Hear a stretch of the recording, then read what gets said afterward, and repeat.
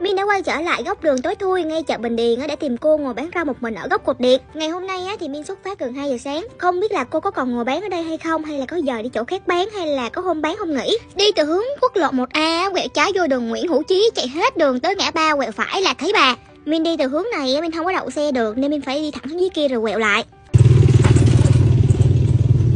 Rau muống nó muốn không bó hả con mười mười hai ngàn bó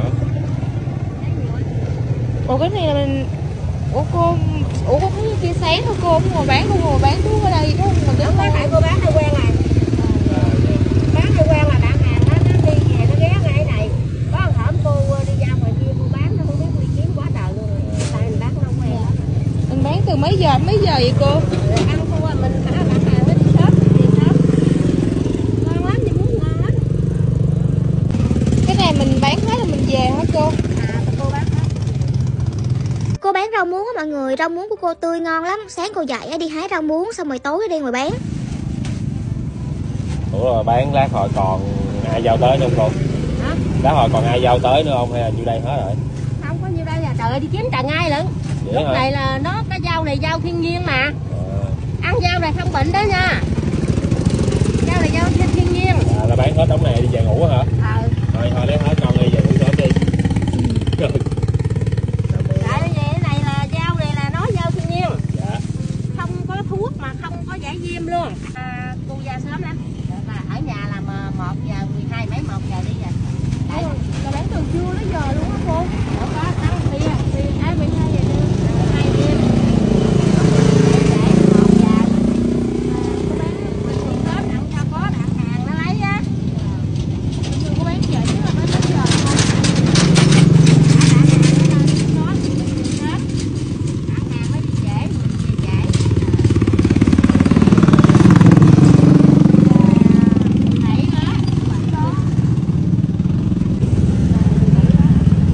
để lấy máy tính bấm con học toán dở lắm 12 nhân 17 204 Hôm bữa con đi chợ về 24 giờ cô vẫn còn ngồi bán. Là bình bữa thường. nào giao nhiều thì còn. Mà bình thường cô bán trễ nhất là tới mấy giờ? À, cao lắm mà bốn bốn mấy vậy không à? Con lấy à, cái này rồi cầm cho con gửi cô luôn thôi để cô thấu đi. Cô lâu lâu rồi con à sao? Cô, cô giữ đi đi về sớm ngủ rồi ngày mai cuối tuần cô cô khỏi đi làm một bữa cũng được. Thôi cô giữ đi không có gì hết. Thôi cô cảm ơn. Dạ không Dạ dạ không có gì dạ không có gì. Dạ con cảm ơn cô mai nhà con tiền nấu lẩu sẵn có con muốn ok luôn.